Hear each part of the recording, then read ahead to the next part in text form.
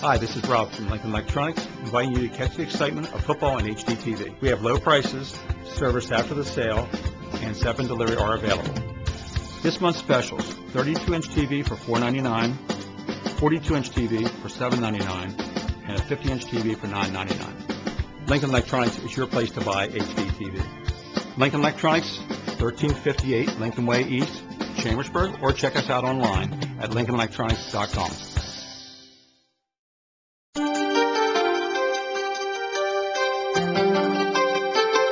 Thanks for watching Public Opinion TV. I'm Maggie Davis. Here's your story of the day. Less than two weeks after a fire gutted his Orrtanna store, Mr. Ed's Elephant Museum started its recovery this past weekend.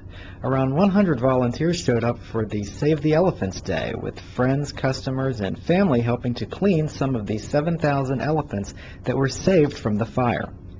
The event was coordinated by owner Ed Gotwalt's grandchildren, who didn't want the burden of cleaning the elephants falling on employees of the store. I am blown away by the amount of support and outpouring. A lot of these people are, are I've never met.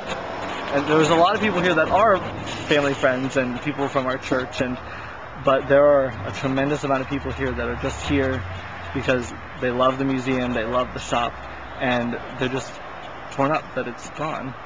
So we're totally in awe with the amount of people that have shown up today.